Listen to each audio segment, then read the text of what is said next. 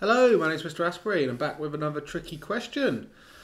Here we go, let's do it. This is a um, beautiful looking curve and it is uh, a region which is in between pi over 6 and pi over 2 and the figure shows the sketch of the, um, of the curve with this equation and basically we just need to find the area and it says using a u substitution that is equal to 3 plus 4 sine x show the area can be uh, written in this particular form. Okay, so where are we? We are over here and we start by writing the substitution, which is u is equal to 3 plus 4 sine x. and then what I'm going to do is I'm going to uh, differentiate that. So that gives me uh, du by dx is equal to 3 differentiates to 0, 4 sine x differentiates to 4 cos x. Okay, so let's make dx the subject. So multiplying up and then dividing through by 4 cos x gives me du over 4 cos x. Now, some of the times you would want to make sure that dx was solely in terms of u, but here I think we're going to be fine um, because I'm suspecting that there's going to be a cos which is going to be on the top, um, which is going to cancel. Okay, um, what I'm going to do next is I'm going to do my limits. So I know that when x is equal to pi over 6, um, what value of u will that give us? So if I sub x is pi over 6 into here, pi over 6, um, sine pi over 6 is a half, times by 4 is 2, plus 3 is 5. And also when x is equal to pi over 2, the other limit, when I sub that in, uh, u, I get u is equal to, um, well, sine of pi over 2 is 1, times 4 is 4, plus 3 is 7. Okay, that's a good place to be. Um, what I'm going to do now is I'm going to write out my um, integral. I'm going to do it in terms of x, but I'm going to expand this top here because this is 16 sine 2x and I know that sine 2x is 2 sine x cos x. So that will give me 32 um, sine x cos x. And that will all be over uh, this 3 plus 4 sine x all squared dx.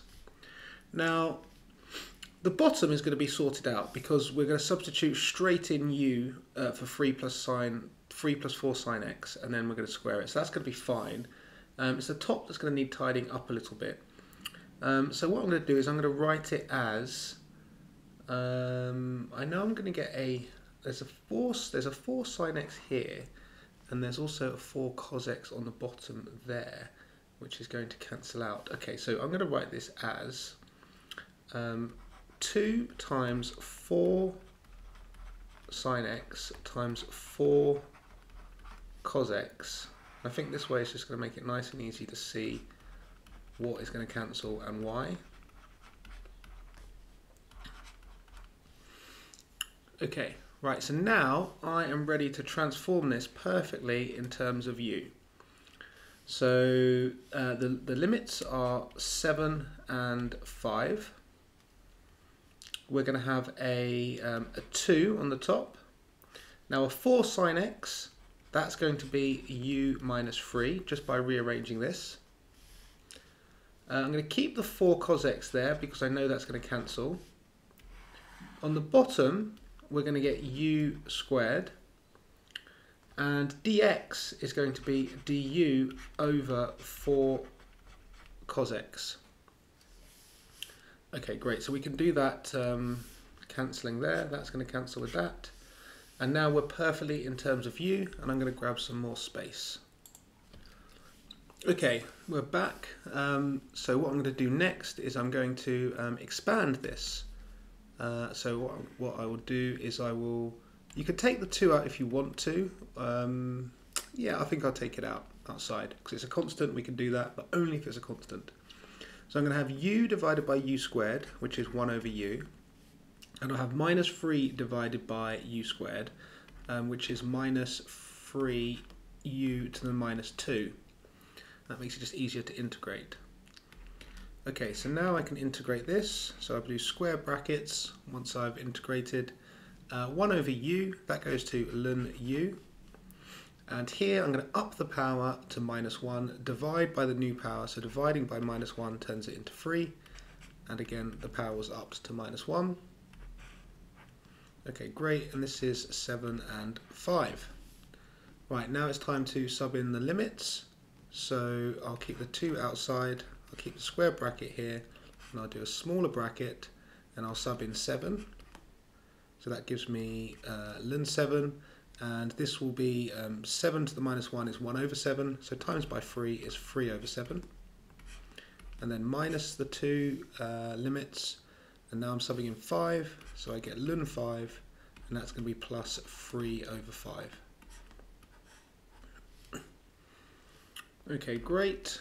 Um, I'm going to simplify this uh, because my luns, I'm subtracting ln 7 uh, I'm doing I'm subtracting ln 5 from ln 7 and when I subtract luns like that I can just write them as uh, one divided by the other inside the input. And then I need to do 3 uh, sevenths minus 3 fifths which will be minus 6 over 35 perfect so this is 2 ln 7 over 5 minus 12 over 35. It does ask me specifically to have it in this form.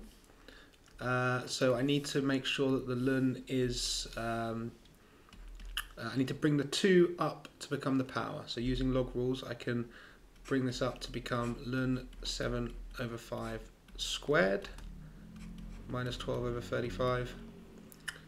Um, so my final answer, the area will be equal to minus 12 over 35 plus ln, so squaring that is going to give me 49 over 25. Right, hope you found that useful. See you tomorrow. Bye for now.